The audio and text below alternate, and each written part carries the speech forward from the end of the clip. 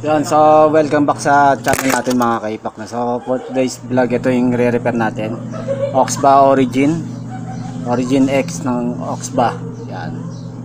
So, brand new to, mga kaipak. ah, factory defect siya. So, out from the box, ah, yung tinetesting na ng bibili. Ah, hindi siya mag-fire, nakahang lang yung software niya. So, naka-freeze software siya. So, brand new to kaya naka-gloves tayo para hindi siya magasgas no mga kaipak. So, ingatan natin to kasi brand new siya. Ito yung box niya mga kaipak. Wait lang. Yan. Yan. So, yan yung box niya. Picturean lang natin. Mas maganda yan. Yan. So, ito yung box niya mga kaipak. So, out from the box, ah, hindi na siya nagpa-fire. Naka-freeze lang yung software niya. So, ito yung mga laman ng box. Yan.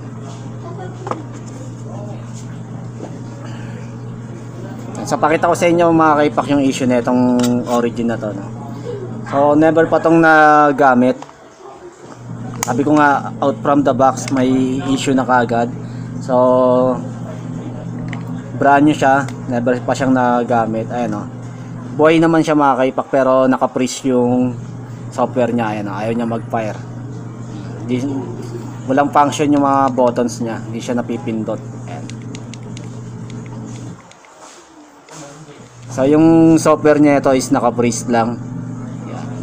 So ito yung i-repair natin mga kaipak for. So brand new na Oxba yan, Oxba Origin X Anniversary Edition. So may ni-repair na rin akong ganito eh. Gantong ganto rin ang issue niya. So check nyo na lang din sa channel natin mga kaipak. Again kung bago ka lang sa channel natin huwag mo kalimutan mag-subscribe dito yan sa button na yan. Sa baba, sa tabi na itong logo natin. Yan, huwag kalimutan mag-subscribe para lagi kang updated sa mga latest videos natin ng repair na unit na vape mode. So umpisa na natin to i-repair mga kaipak. So babaklasin ko na siya. So magta timelapse na lang tayo para mabilis yung proseso natin. Ayaw niya talaga mag-fire. Oh. So bago natin umpisahan to mga kaipak, ah, intro muna tayo. Pasok.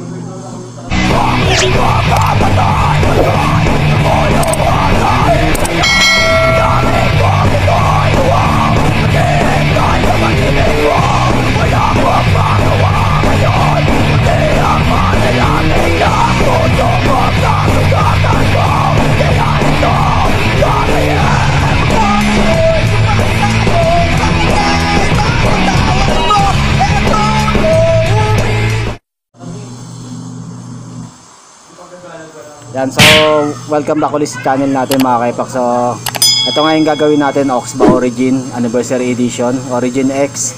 So umpisa na natin siya i-repair, magta timelapse na lang tayo para hindi masyadong mahaba tong video natin. So babaklasin ko na siya mga kaipak.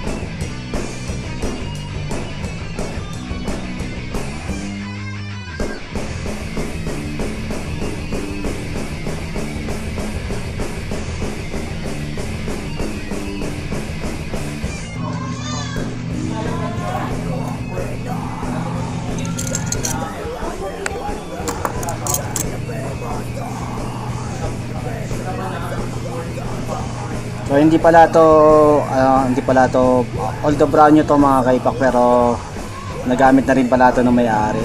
Ayun oh. May trace tayo ng juice. Basa siya ng juice ayan. Ayan. Yan. So may juice siya. So it means nagamit na siya.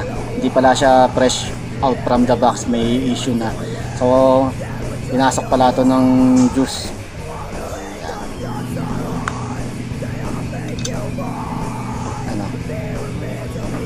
So may mga juice yung loob niya. So kaya nag-short yung chips nito. Nabasa ng juice yon. So magpapalit tayo ng pyesa rito mga kaipa.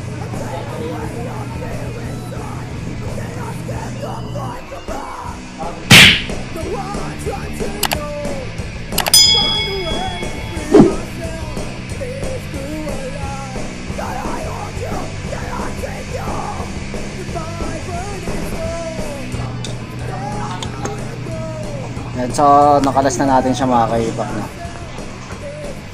Picturean ko lang. Ayan. Ang dami nga niyang mga juice sa loob. Ayan. Ano. Kita ko lang sa inyo yung mga juice. Ayan. So, pipicturean lang natin.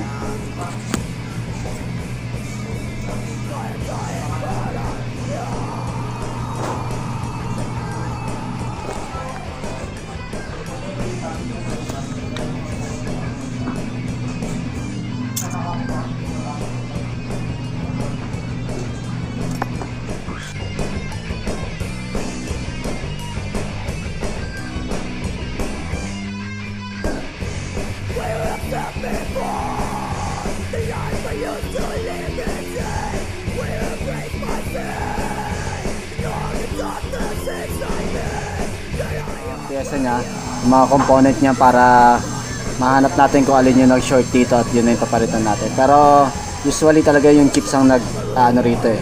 Ito. Yung chips ang nag-short dito pag na bapa, pinapasok na siya ng juice. So pero check na rin natin pati mga buttons. So gagamit tayo ng tester.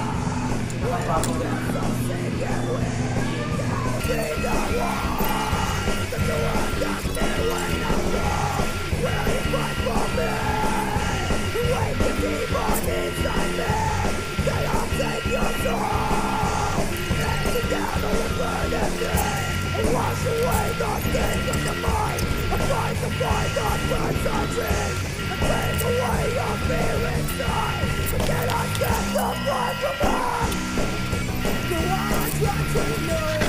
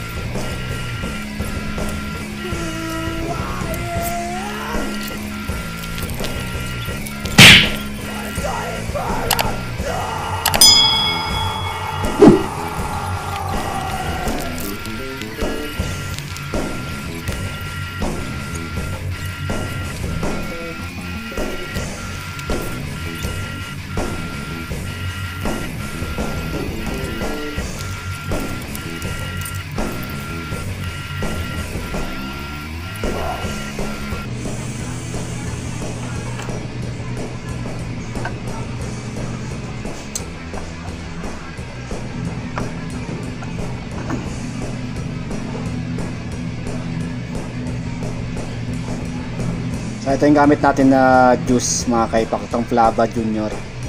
Yan. So nabili ko pa to bago pa mag flavor ban. Konti na nga lang to. Ay hindi ko pala ito nabili. Ah, bigay lang pala ito ni Boss Kaloy ng Pam Vape Shop. Yan. So shoutout sa Pam Vape, Vape Shop. Yan. So binigay sa akin to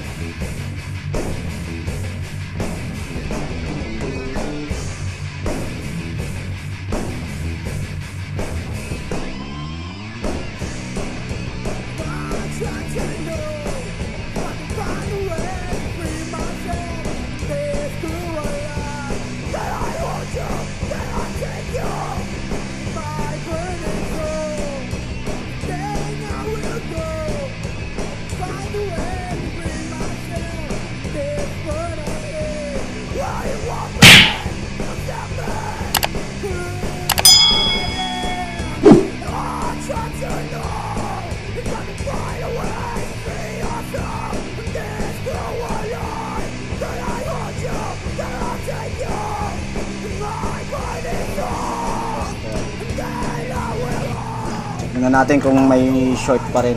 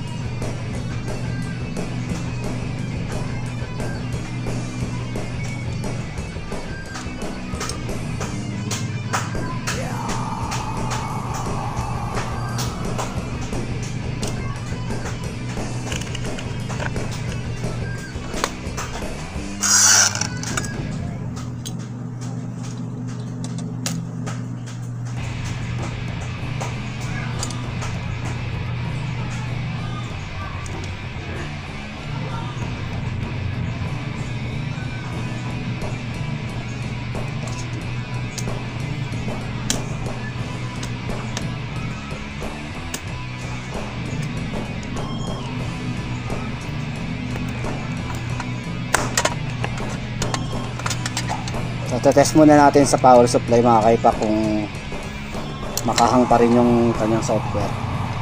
So, gamit tayo ng power supply natin.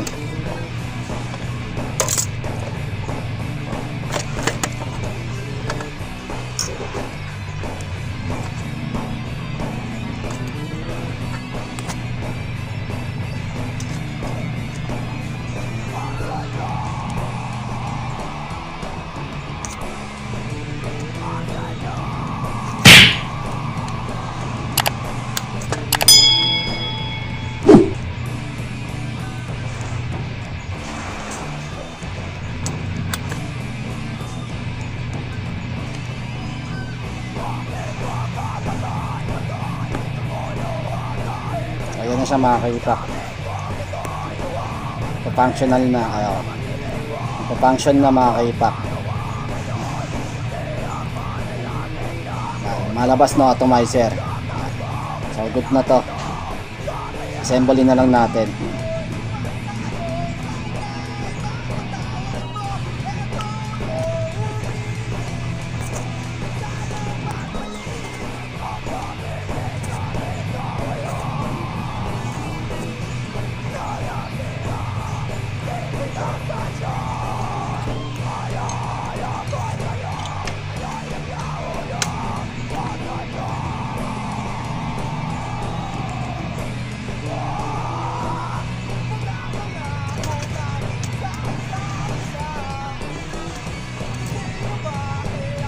So okay na to mga kaipak ko.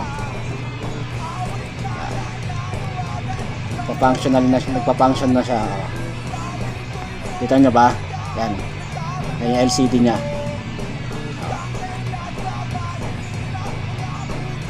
Nagdono-atomizer na siya. So good na to mga kaipak assemble na natin. So nakaka 58 minutes pa lang tayo sa repair natin. So assembling ko na to mga kaipak. Ah, time lapse na lang ulit tayo para mabilis.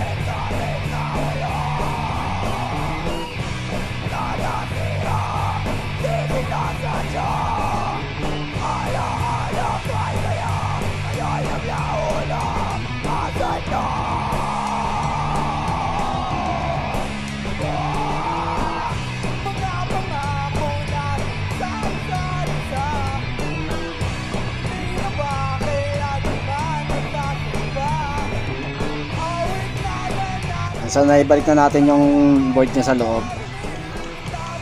Clicky na yung mga buttons niya, clicky na siya. So tatry muna natin siya makakipak bago natin assemblein ng totally.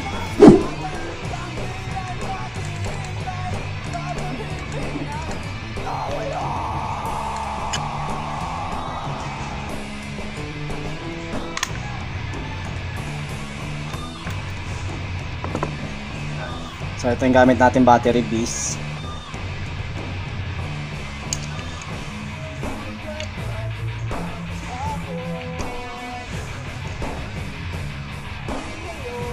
Yan. Check natin mga kaipak. Yan. So functional na. Hindi na nakapress yung kanyang software.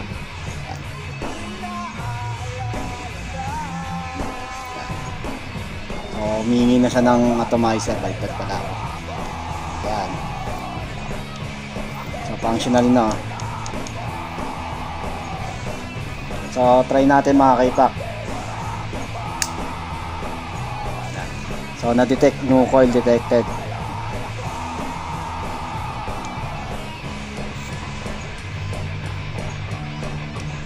So firing test 10 watts.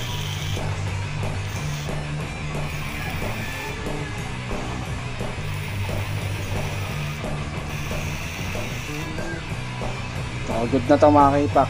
So firing na.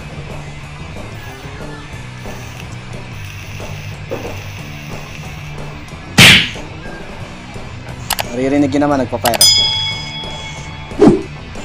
Hindi natin pwedeng hipakin, syempre gamit to ng may-ari. Hindi natin pwedeng isubo.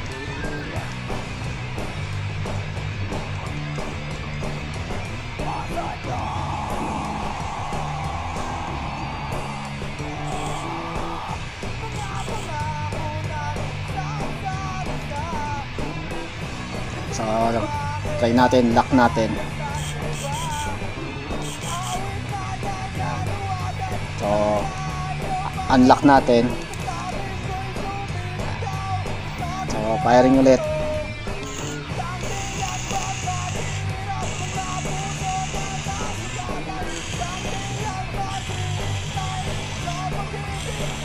So, okay na to. Assembly ko na lang siya mga kaipak. No? Off muna natin.